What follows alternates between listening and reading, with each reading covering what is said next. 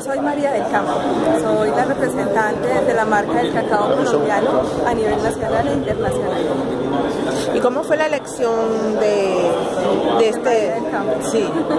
Bueno, María del Campo eh, es el resultado del concurso nacional que se hizo para elegir la mujer cacaucultora de Colombia.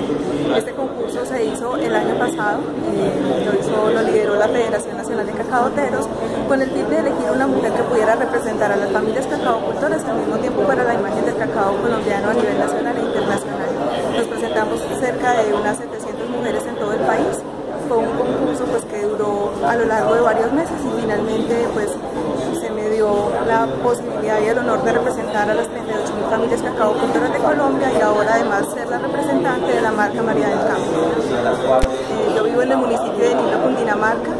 Allí dedicamos, pues, me dedico al cultivo del y también lidero una organización de cacaocultores que estamos 100% enfocados en el tema del cultivo del cacao orgánico y estamos, digamos, trabajando muy desde ese frente, pero también apoyando pues, a los cacaocultores de, de la región y a todos aquellos a través de los cuales María del Campo pueda representar.